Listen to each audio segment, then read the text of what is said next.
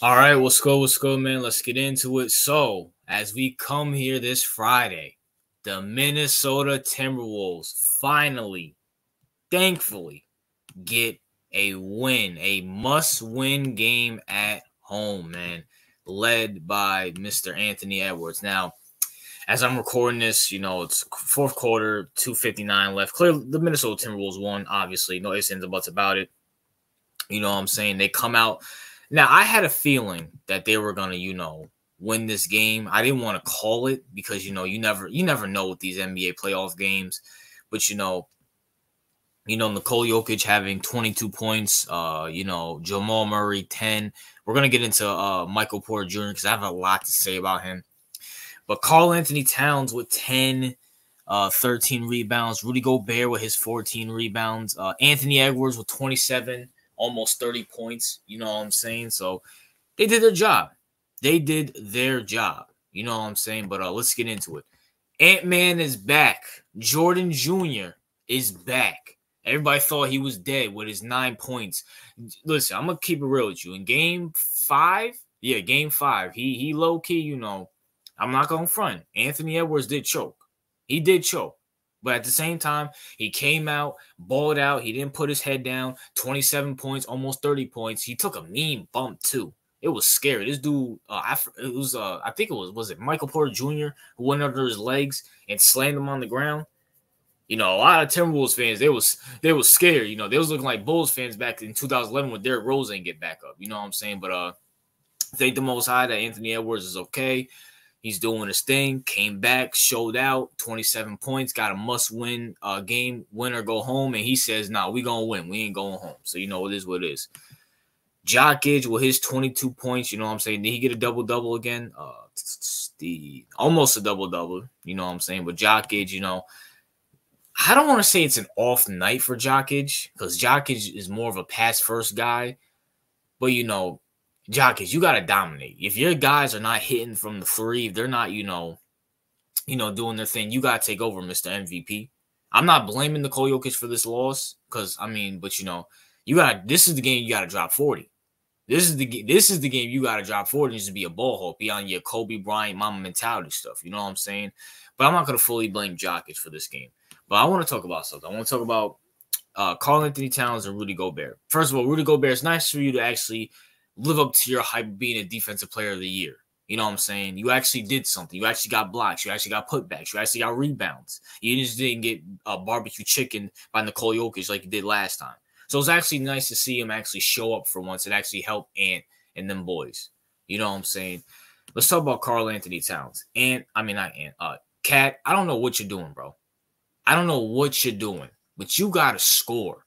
Like you had 13 rebounds. I give you credit for that. But at the same time, bro, you are one of the power forwards in the league who could shoot the three, who actually can drive, get a bucket, and you're not doing that. And in game seven in Denver, they're going to need that. That crowd rocking, Denver coming off this embarrassing loss, the NBA champions, their season on the line. They're going to need you to get 25 points, bro. 27 points. Ant's going to need you out there. Rudy Gobert. We're going to need to see this defensive presence uh, in Denver, game seven. I give y'all credit. Y'all didn't die. Y'all, you know, win or go home. Y'all were home. Y'all got the job done. Y'all got the job done. Not even knocking y'all. Not even knocking y'all. But at the same time, Cat having, uh, as we sit here, the Timberwolves, Cat had 10 points. Unacceptable. 13 rebounds, cool. 10 points, unacceptable. Unacceptable.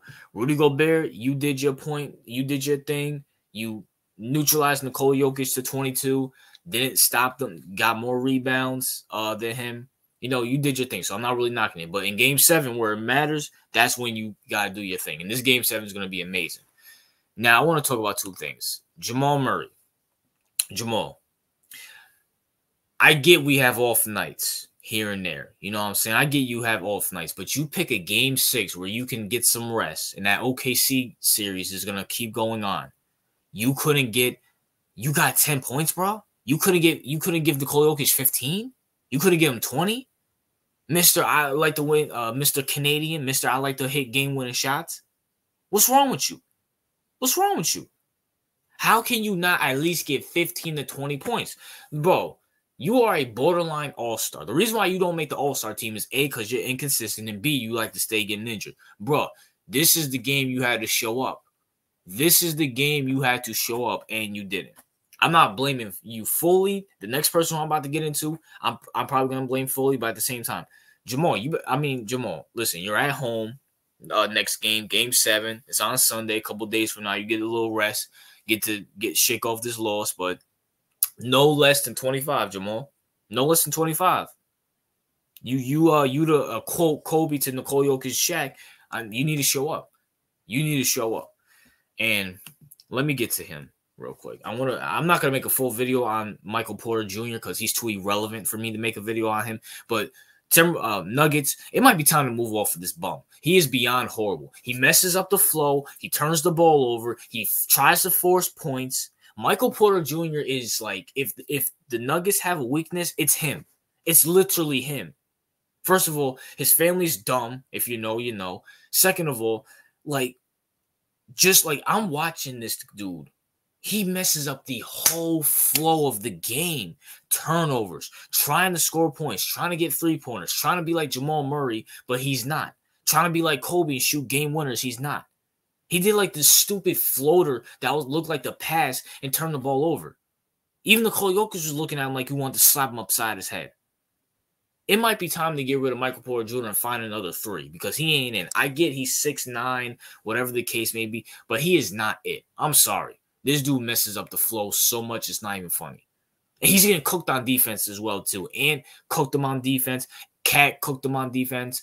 Uh, who else? Naz Reid cooked him on defense. Mike Conley cooked them on defense. Everybody cooked them on defense. Hell, I might have cooked them on defense. Listen, man, it might be time to get rid of Michael Porter Jr.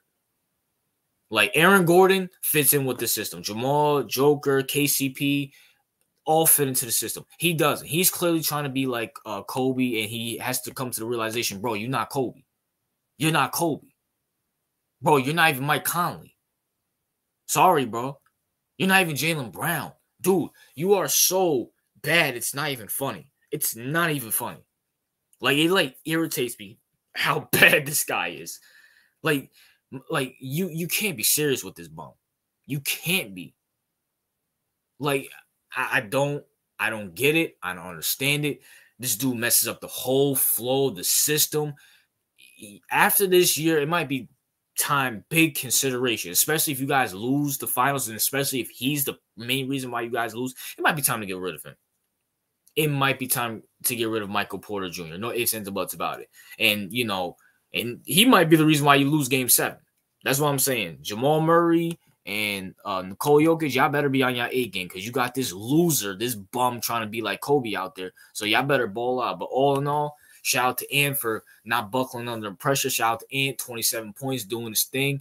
I'm looking at it now. This will be the this will be a played. This will be the second game seven the Timberwolves played in, only second time in history since Kevin Garnett. And if you want it, you got to go get it done, bro. You got to go get it done, man. You know what I'm saying? If you want to beat the man, you got to beat the man. And at the same time, bro, you got to do your thing, bro. You got to do your thing. It's in Denver. You know, Denver's gonna come out hot. You know, they're gonna want their revenge. They're gonna want, you know, to, you know, redeem this loss, especially since it was a blowout. It wasn't even close. And granted, you know, I was watching this game. Okay, Nuggets are gonna probably gonna come back. Nuggets are probably gonna come back, make it competitive. It didn't happen. Credit to the Timberwolves, you know, for locking down the Cole Jamal, and letting Michael Porter be Michael Porter, the idiot clown that he is. But you know, it is what it is, man. That's my thoughts. What are yours? What's your thoughts on this series? And here's a question: Do you think this is the best series throughout the whole playoffs? Because this is the only series I think that went seven as of right now. I don't think any did any of the first round game. None of the first rounders went to seven. I know the Knicks went six. No, none of them went to seven. This is the first series going to seven. Is this the best series in the playoffs right now? The most entertaining one, most competitive one. Are you enjoying it? And who do you guys got Sunday? Timberwolves or Nugget? Who who are you rooting for Sunday? Timberwolves or Nuggets? And do you believe whoever wins this series is gonna win the finals? That's my thoughts. What are yours? RJ out. Thank you.